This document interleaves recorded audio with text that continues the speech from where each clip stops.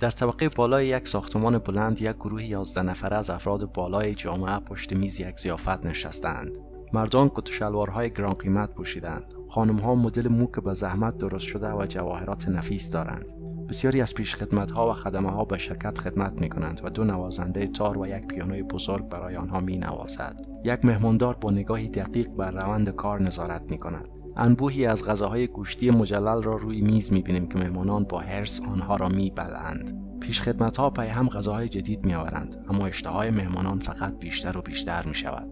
مهمانان در سکوت گوشت کروکودیل، کوسه، سگ، شیر و حیوانات دیگر از جمله گوشت خام را با هوس بیپایان می‌خورند. فقط یک زن در میان آنها این موضوع را عجیب مییابد. و به دیگران و غذاها نگاه می کند و برای خوردن تردید دارد. با زودی کف تختهای زیر میز نمی‌تواند وزن ظروف را بیشتر تحمل کند و شروع به درس می کند پیش خدمت ها و نوازندگان متوجه می شوند که بعدا چه اتفاقی خواهد افتاد و پنهانی به یکدیگر نگاه می کنند و در یک لحظه زمین با میز و همه مهمانان با یک ترک وحشتناک به طبقه پایین فرو می ریزد مهمانداران اصلا تعجب نمی کنند مدیر زیافت چند یادداشت در دفترچهاش می نویسد و بعد به کسی که روی دستگاه کنفرانس است می‌گوید طبقه بعدی. نوازندگان ساسهای خود را بر دارند و به سرعت آنها را به طبقه پایین می‌برند یک شندلیر بزرگ آویزان نیز به طبقه پایین منتقل می شود تحت رهبری مهماندار گارسون ها با ظروف جدید با نظم و ترتیب به سالن پایین می روند. مهمانان پس از سقوط به خود می آیند. نشستند و سالم می مانند. فقط گرد و غبار گچ روی سر و صورتشان نشسته.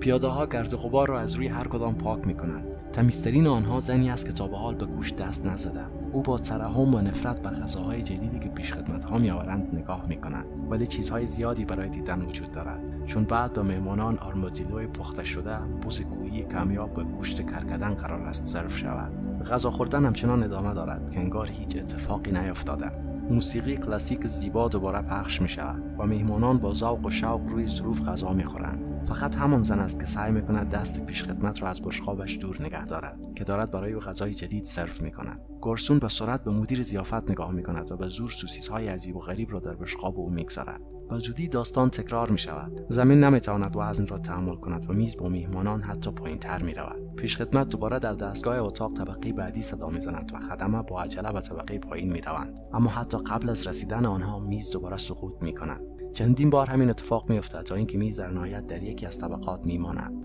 خدمتکار محتاط شک دارد که میز دوباره سقوط کند پس از قبل منتظر میهمانان در طبقه پایینتر میماند گروه سر میز آغشته با گچ شدهاند و ظروف نیز پر از گرد و غبار هستند. با این حال این مانع از آن نمی شود که میهمانان نگاه های درنده به یکدیگر بیاندازند و حریصانه به خوردن ادامه دهند. اما حال یکی از مهمانان خیلی خوب نیست و بدون حرکت روی صندلی راحتی نشسته و یک لوله تغذیه مصنوعی در دهانش دارد. بقیه هیچ توجهی به او نمی کنند و با وجود صدای جیرجیر بلند زمین همچنان دهان خونین خود را غرق در غذا می کنند زن که تا به حال چیزی نخورده نگاهی دیوانوار به همسایه‌هایش میاندازد. قطره اشکی روی گونهش جاری می شود بلا فاصله یک جنون سر تا سر زن را فرا می گیرد و با هرس تکه های گوشت را در دهانش فرو می برد. در رفتار مهمانان اثری از صرافت سابقشان باقی نمانده. مدام در حال خفگی و صرفه هستند. از بشقاب همدیگر غذا میدزدند و به طرز نفرت انگیزی میخندند. کف زیر آنها ترک می‌خورد و دوباره فرو میریزد. اما حالا میز در هیچ کدام از طبقات باقی نمیماند. از کنار پیشخدمت های حیرت زده میگذرد و پایینتر و پایینتر میافتد و هر بار به زمین پایینتر سقوط می‌کند. شندلیر کریستالی بزرگ به دنبال آنها پرواز می‌کنند. مهمانان فریاد می‌زنند و برای نگه داشتن میز تلاش می‌کنند. پیشخدمت ها با وحشت و شگفتی بی حد و حصر به سوراخ بی انتها در زمین خیره می‌شوند فقط مدیر زیافت آرام میماند او با نگاهی دقیق به دوربین نگاه می کند که گویی اتفاقات اخیر را مسخره می کند.